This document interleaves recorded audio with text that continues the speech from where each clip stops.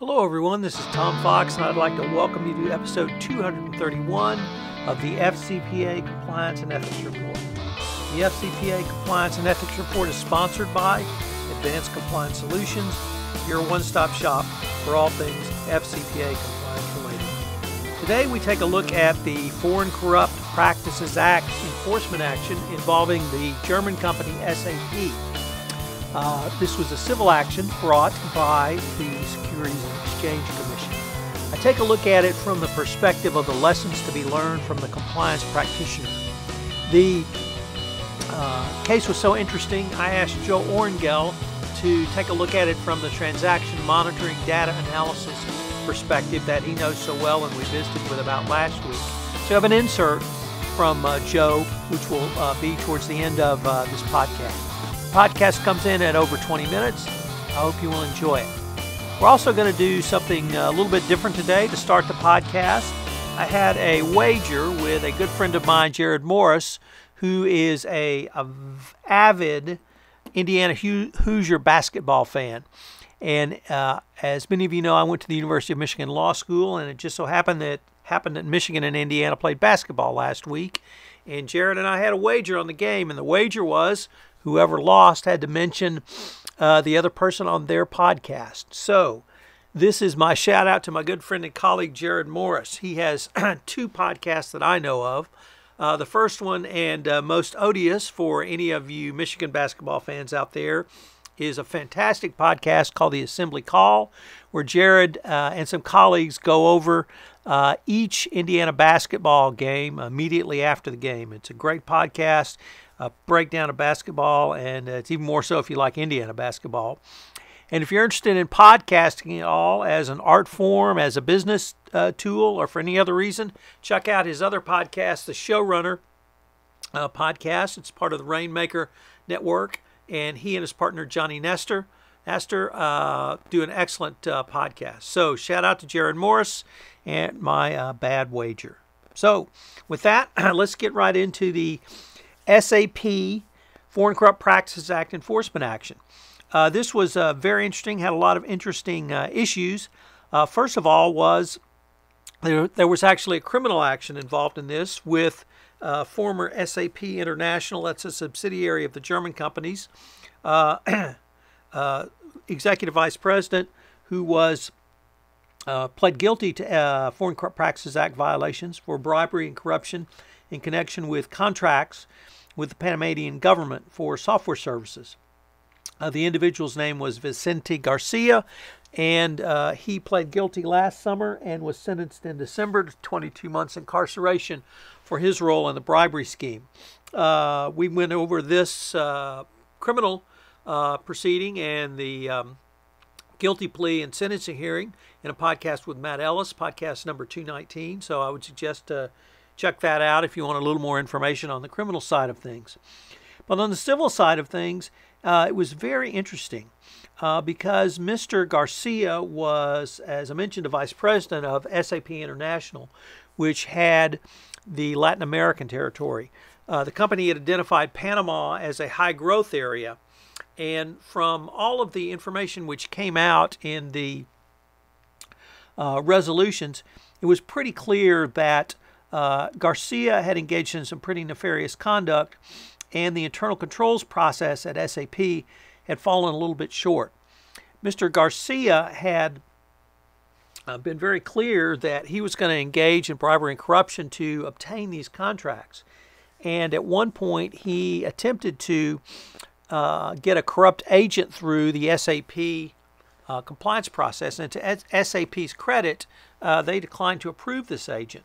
Uh, nevertheless, Mr. Garcia then went to a distributor, a corrupt distributor, I would note, and the distributor was given a very large discount. And with the discount, uh, I think of 18%, and with the discount, um, the distributor then billed the Panamanian government full price and paid the difference to uh, corrupt Panamanian officials for the uh, contract at issue.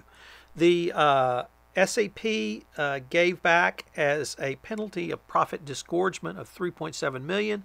They also paid 188,000 plus in prejudgment interest. So the um, the fine and penalty was relatively small, but what uh, the shows for the compliance practitioner is really the need for robustness around your internal controls and uh, continued vigilance in your compliance program because, as I indicated, Mr. Garcia had engaged in uh, corrupt acts or at least attempted to get a corrupt agent through the SAP process and then uh, was unable to do so. The Securities and Exchange Settlement Papers indicated that he lied or made other misrepresentations on the documentation around the um, distributor, but it was pretty clear that uh, given uh, Mr. Garcia's propensity for engaging in such conduct, that uh, more uh, a more robust review of his actions would have been warranted. The other thing is uh, the distributor process itself. And this is something that uh, I have talked about, others have visited with me about, and I really have to point back to uh, my good friend and colleague, Bill Athanas, uh, who's a partner at Waller Lunsden, Lansden, Dortch, and Davis in Birmingham, Alabama, because he really had an idea that uh, I certainly hope takes hold, but I've really uh, thought hit this on the head when he developed something called a distributor authorization request. And uh, simply put, it was a form which allowed a framework for business justification for a discount, which would be given to distributor. But more than this, the business justification framework, it also uh, would assess and manage the application going forward. So uh, you've got the documentation around what's your business justification, and then you manage that relationship going forward. And as anyone knows, the most important and most difficult part of any third party relationship is after the contract signed.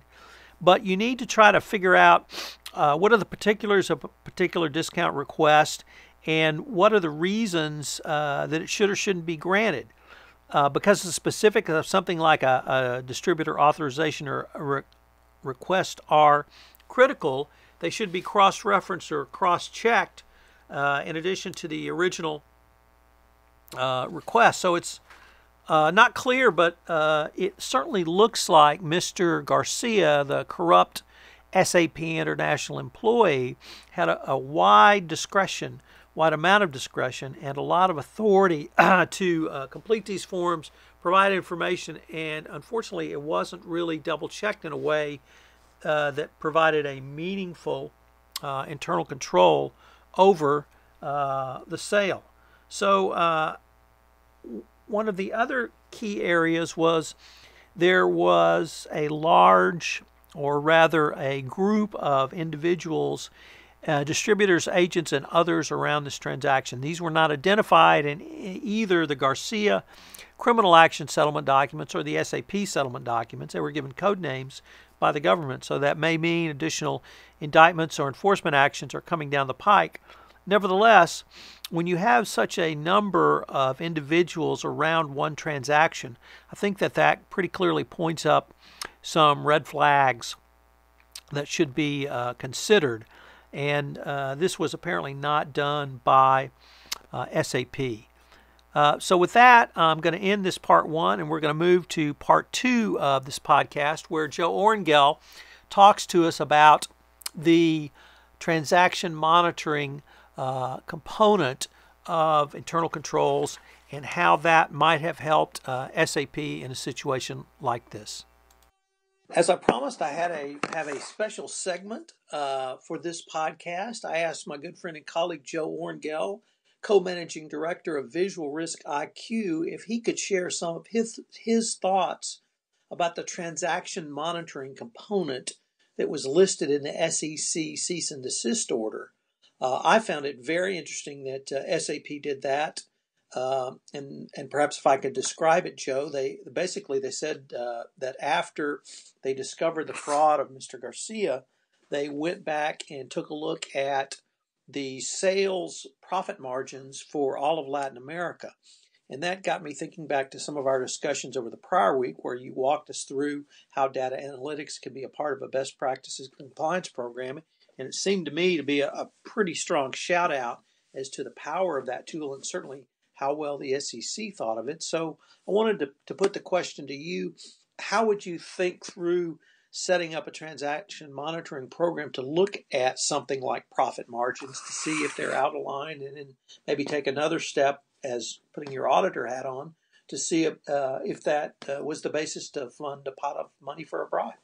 Sure. Well, um, in reading the the uh, the enforcement action, Tom, I guess there's there's two elements of data analytics and um, and transaction monitoring that come to mind. First is the the notion that Garcia used an existing uh, distributor who had already been approved for the suspect transaction. So kudos to SAP for having a strong vetting process to reject the the um, the new um, the new distributor, the new the new channel partner, um, but the the use of existing um, business relationships to perpetrate um, this sort of a this sort of an action really shows the importance of not just doing a one time check on the front end, but doing some sort of repeating analysis and comparing your existing distributors to individuals that may be on a hot list or may otherwise um, have have issues um, around them. Um, two two thoughts there. One, certainly comparing a list of current distributors to a list of watch list third parties. That's something that um, continual monitoring, continuous monitoring, uh, can do. And if your organization has a good vetting process on initial approval and then doesn't do anything on a periodic basis, there's a, a clear takeaway there. The the second and I think more important takeaway um, is a, a control that, that shows that the the approval controls at the at the vendor or channel partner level are only part of an effective internal control structure.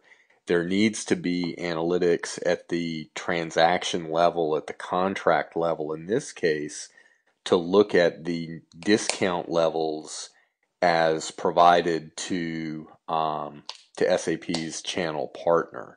We have uh, have seen visual analytics tools such as Tableau or QlikView be very helpful in comparing discounts from uh, customer to customer or channel partner to channel partner to look at um, at discounts, compute a normal range, and when extraordinary discounts are offered to customers, that is the uh, the opportunity to to really interrogate and make sure the approvals are there. So the um, so you identified party ongoing party monitoring, and then you moved uh, to transaction monitoring. Uh, could I ask you now if uh, maybe you could put your auditing hat on, and uh, either I or, or, someone from the compliance office has, has come to, to you and said, Joe, we've looked at uh, run all of our transactions in Latin America, and we've identified five that uh, we think need further review. How would someone who has the ability uh, to take a deeper dive into those transactions um, look at both the uh, efficacy of those transactions, but also try to make sure that no pots of money were uh, generated which were used to fund a bribe? Well, sure, and, and, this this is establishing that that range of, of discounts that are um, considered normal or extraordinary if I remember the the dollar amounts right, this is a, a fourteen million dollar contract that had a uh, three point seven million dollar um, contract. I'm not familiar with the ins and outs of what a, a normal discount is at SAP for a uh, a fourteen million dollar transaction, but it appears that the um, the fourteen and a half million dollars was a, a, list price or a, a contract price, and um, the three point seven million dollars was a, a discount that the customer ultimately did not get the benefit from. Instead, the the benefit um, accrued in that that pot of money. Um, what we would suggest to do to identify these circumstances on a go forward basis would be to monitor each contract and I would expect that there's a, a normal um, a normal discount. That is, very few folks uh, go up to the the auto dealer these days and look at the price of the sticker on the vehicle and pay that price. And certainly, if they're buying $14 million worth of fleet vehicles, um, the chances of them paying the sticker price is even more unusual. So you would expect some modest discount, whether that's single digits or teens or even 20s, probably uh, depends on your business. But you would expect to see some sort of a minimum um, discount level for a contract of this size. And then there would be some sort of a maximum discount level for a contract of, of that same size. And then you're comparing each of your transactions to that normal range and your extraordinary range. And when you've got uh, transactions that are in the extraordinary range as either too high or too low, um, that's when you want to bring in additional diligence to that effort. The diligence can be communicating with the end customer. The diligence can be communi- communicating with all people on the sales team, including the, the final individual that provided the uh, the authorization um, for the transaction. In Garcia's case, as a, a VP at SAP, it's clear that he had um, pretty significant ability from a sign off level, but I suspect he doesn't have the ability to put $3.7 million worth of um, uh, goods on an accounts payable invoice and approve all of those. Uh, that's certainly going to be below his uh, his authority at a company like SAP. So just as he would need to go one up for approval for a purchase of that size, in effect, that $3.7 million discount ought to require additional approval, someone in finance or even yet compliance, depending on how extraordinary that discount is compared to um, other contracts, same size, similar region, similar similar customers around the country. The uh, the one of the things that kind of intrigued me, and certainly as you described it, Joe, was thinking through an appropriate segregation of duties. And I certainly understand that at, at, a, at a VP level in any corporation, you're going to have a large amount of uh, authority to, to uh, or dollar amounts that you can approve contracts. But perhaps would the, could a segregation of duties be to disconnect the approval of the distributor discount rate from the ability to approve a contract or have some other way to put a second set of eyes on the entire the entire transaction? Well, I, I know for, for contracts that I've seen that uh, have this this sort of uh, uh, dollar value to them, they're always my friends in, in legal that are involved in in that sort of approval.